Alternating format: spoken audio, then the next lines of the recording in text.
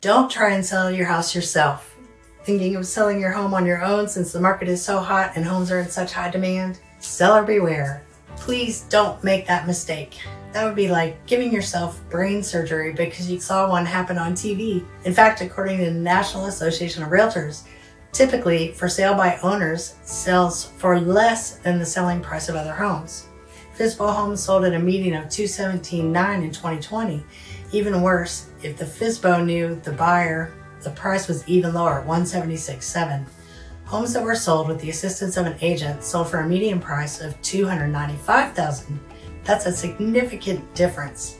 Hi, I'm Sherri Echols, broker associate with Remax Bryan College Station.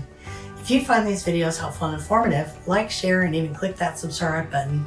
Over the years, I've seen markets like this that are strong, so sellers think that hiring a discount broker or by selling homes on their own, they'll save money.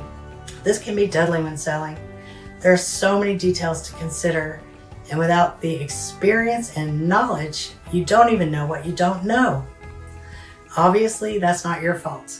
You are an expert in something other than the home selling process. After selling hundreds of homes in this area, we can guide you so you can get the amount of money you deserve with the best terms for a seamless process with less risk and less hassle.